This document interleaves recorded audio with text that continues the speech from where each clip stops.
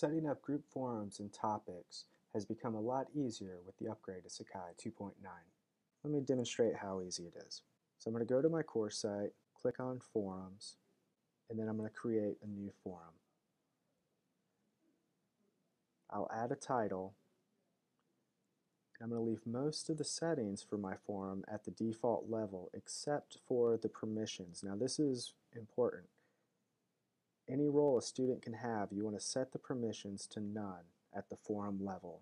So student role, guest role, any of the sections or groups, make sure they're all set to none, then click Save Settings and Add Topic. Once we have a topic, we'll just give it a title. I'll just call this Group Discussions. Scroll down to the bottom of the page, where you see roles and permissions. And this time I'm just going to check automatically create multiple topics for groups and designate which groups or sections I want to have topics for. It's as easy as that. Check the two sections, I'll click Save, and there it is, my forum, media and marketing, and then my two topics for each group.